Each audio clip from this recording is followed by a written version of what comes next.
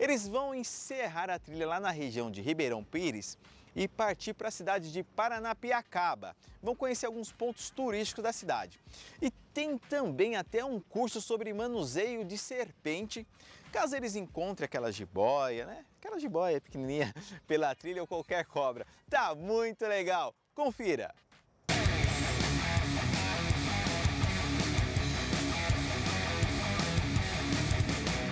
É, hoje eu estou levando, vou levar o pessoal do Adrenalama para fazer um passeio aqui na região, aqui na região do Riacho Grande. Nós vamos sair ali na estrada municipal e vamos fazer um, um tourzinho ali pela, pelo Morro da Macumba. Temos ali uma, um percurso legal ali de trilhas ali.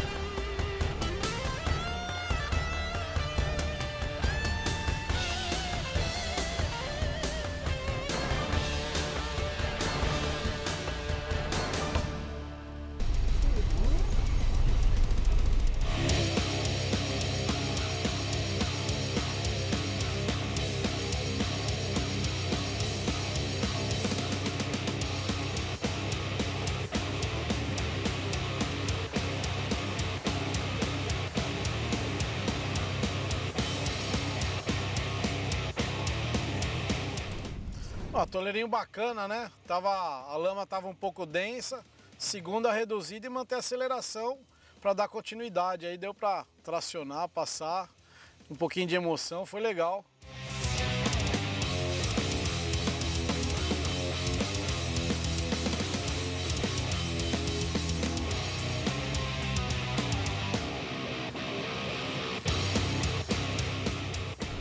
Bom, como os meninos falam, como eu tô sem tração, tive que ligar o lambada da Action, dois pés no acelerador e segurar o volante para ver para onde vai.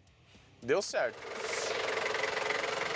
Então, essa é uma descida bem inclinada, mas com pouco risco, porque apesar do, do, grau acentuado, ela tem parede dos dois lados. Então, o máximo que acontece é ralar o carro, talvez quebrar um alargador, mas não tem muito perigo, né? Primeira reduzida, tira o pé do freio e deixa escorregar.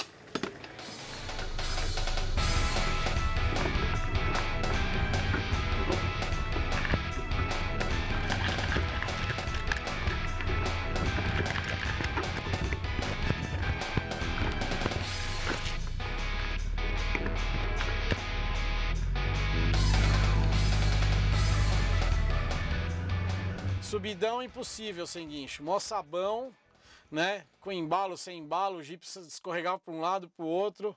Foi alinhar no facão, chegar onde dava, guincho e subir na manhã, ajudando na tração e o guincho trabalhando.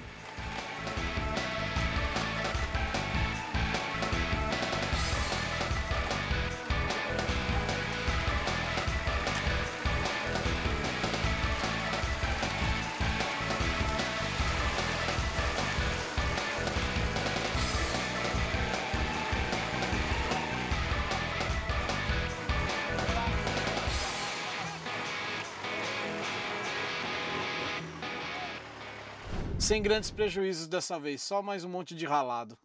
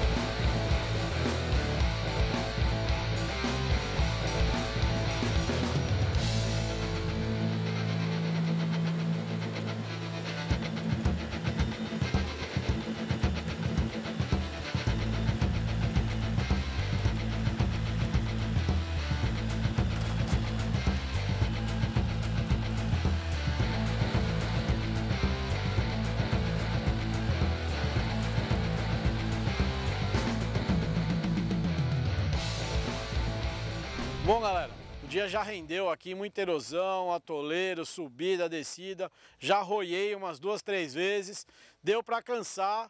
E agora a gente vai dar chegada aqui na cidade de Paranapiacaba, que está próxima. Diz que tem um curso sobre serpente, uns negócios super legais e o lugar é super bonito. E a gente vai levar o Gonzo para se especializar nessa área do curso aí, enquanto a gente só observa, provavelmente.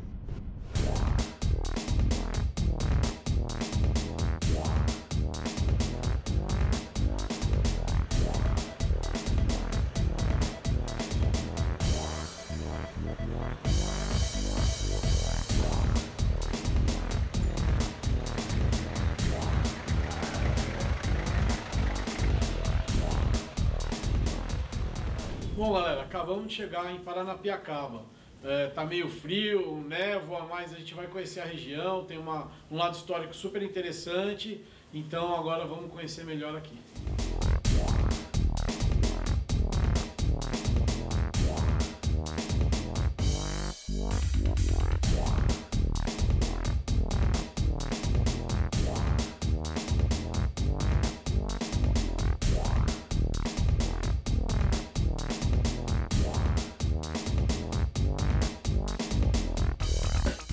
A gente está aqui no Clube União Lira Serrano. Aqui é um dos pontos turísticos aqui da Vila de Paranapiacaba. Esse clube tem uma história muito legal. É... Por que União Lira Serrano? Porque ele é a união do Lira, que era um clube de músicos da Serra é, do começo do século, de 1900, é, com o Serrano Atlético Clube, que era o clube de futebol da vila. Esses clubes na ferrovia é, tinham conflitos né, dos músicos com os, com os desportistas a ferrovia, nos, nos, anos 30, então fez um acordo com eles, que para vocês resolverem aí essas suas confusões que estão atrapalhando a questão de trabalho, eh, a gente vai dar para vocês um, um, grande clube. E foi construído esse gigante de madeira aqui. Era chamado, inclusive esse era o nome histórico que, que nos anos 40. Que... Essa parte desse salão que foi feita a junção do time de futebol e a parte de música, hoje é feito carnaval, é feito festas, né?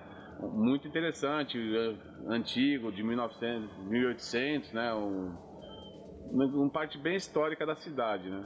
E hoje é usado para... Hoje nos eventos aqui de Paranapiacaba ele é utilizado. É, Festival de Inverno, que acontece em julho, Festival do Cambuci, acontece aqui uma feira cultural também. É música, música teatro, ele é utilizado. Ah, No espaço. E também no museu a céu aberto, né? No museu, nos finais de semana ele fica aberto e o visitante vem conhecer, tá? conhece. Né? E aqui funcionava também, além no, no passado, é, os bailes, ele era o cinema da vila também. Ah, o legal de ter essa vida de aventureiro é que com os carros a gente acaba encarando desafios e conhecendo lugares que muitas vezes acho que a gente não teria acesso, porque acaba encontrando pessoas diferentes e aí a gente descobre as histórias da região, enfim, acaba acrescentando muito para nossa bagagem de vida.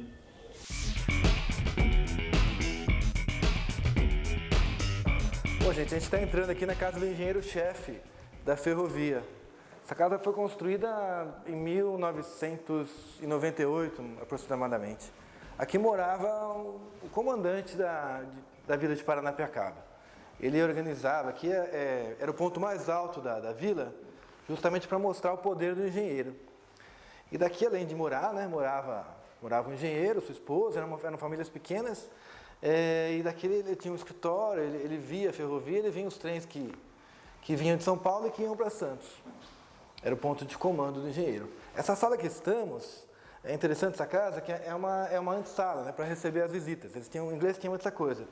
Ele recebia, recebia as pessoas não na sua sala íntima, mas assim né, tinha sala para receber os visitantes.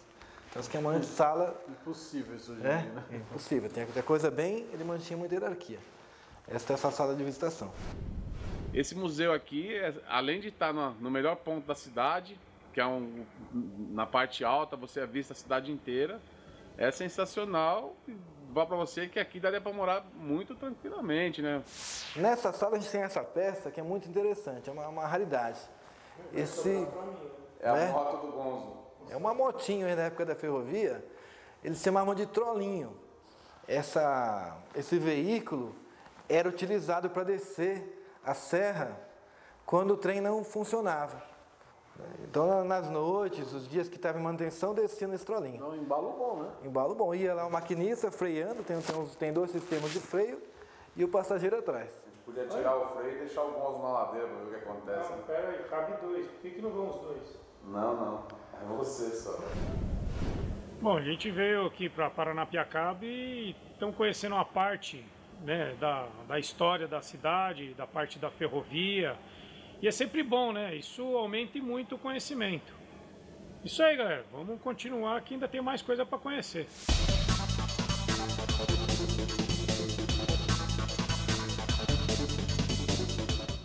Boa tarde, pessoal. Tudo bom? Sejam bem-vindos. Prazer, Vanderlei. Tudo bem? Sejam bem-vindos aí, tudo bom? Sejam bem-vindos. Podem sentar, fiquem à vontade. Bom, pessoal, agora nós vamos ter um curso sobre serpentes. É super importante para a gente porque a gente está sempre no meio do mato em contato com a natureza. E nada melhor do que um profissional para dar as dicas certas para nós. Então, pessoal, é, esse curso que a, gente, que a gente passa aqui em Paranapiacaba, ele é um, é, um, é um curso livre, né? ou seja, não é um curso profissionalizante. Curso livre de identificação e manejo de serpentes. Principalmente para vocês né, que, que estão sempre de jipe, estão adentrando as matas, que a possibilidade de um encontro com esses animais é muito maior do que para qualquer outra pessoa, né? E é um encontro que ele tem que ser prazeroso. Você não pode ter medo nesse momento. É um momento para você curtir, para você, você ver a beleza desse momento. E vocês que estão sempre nessa, nessa vida aí, eu acho que é muito legal conhecer, principalmente, características. É bom você bater o olho assim, já saber mais ou menos o que, que é. As espécies mais comuns que nós encontramos aqui, a gente consegue ver isso também nesse curso, tá? E o que fazer ou o que não fazer no caso de acidente. E no caso de acidente, quanto menos criatividade, é melhor, entendeu? Então, é, a, a ideia desse curso é justamente isso, é desmistificar. É um curso livre, não é um curso profissionalizante, mas eu acho que ele é de grande valia pelo, pelo conteúdo dele. As informações que são passadas são bem interessantes para quem tem esse contato com a natureza constantemente, como vocês têm.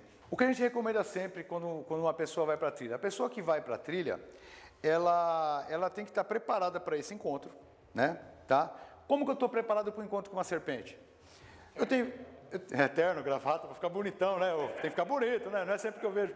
Na verdade, você tem que estar o quê? Com calçado fechado, preferencialmente bota acima do tornozelo, que a grande maioria das picadas são do tornozelo para baixo, né? Mas se você tiver uma perneira, que é um equipamento que eu já vi, eu já vi jipeiros usando aqui perneira. Perneira é um equipamento fechado com velcro, assim, ó, você abre e fecha rapidinho, não, não incomoda tanto, ele fica solto por cima do calçado e ele vem até bem próximo do joelho. Com a perneira você está praticamente, né, tirando aquelas exceções que de vez em quando você encontra uma jararaca num galho de árvore aqui assim, você já está protegido. É, além do equipamento, você estar equipado, você está com, com calçado fechado, se possível perneira, ou pelo menos bota de cano alto. É, uma recomendação muito interessante é você ficar atento. E o que é ficar atento? É realmente ficar atento, é você olhando e você está pisando. Ah, tudo bem, vai, estou fazendo um filminho e tal, mas eu tenho que estar atento. Eu estou conversando com a pessoa que está atrás de mim, mas eu converso olhando para frente, eu não converso olhando para trás e andando numa trilha, nunca. Outra coisa, caminhar sempre na trilha. Toda, toda trilha, ela tem um caminho que é o caminho todo impactado. É nesse lugar que a gente vai andar. Não tem por que eu andar, porque normalmente é assim, você tem a trilha, tem a floresta e tem uma área de amortecimento, que não é floresta nem trilha. Essa área de amortecimento, muitas vezes as pessoas quando querem andar lado a lado, alguém acaba andando desse lado. E está errado, você tem que andar em fila, tá? Por quê? Porque nesse matinho do lado aí pode ter uma serpente, entendeu? Pode ter um ninho de passarinho, pode ter um lagarto tomando sol. E se eu andar nesse lugar, eu posso acabar pisando nesses, nesses animais que eu não quero pisar.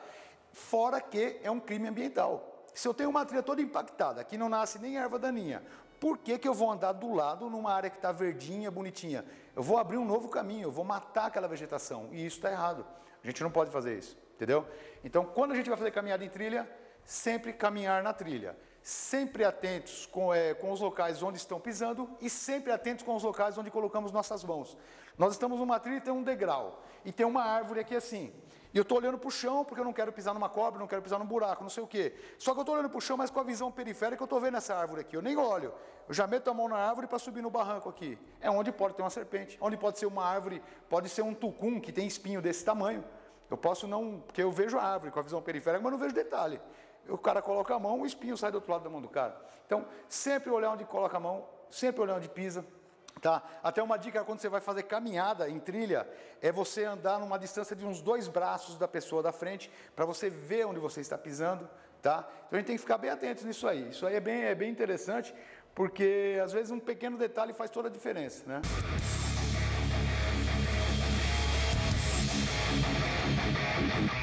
no próximo episódio.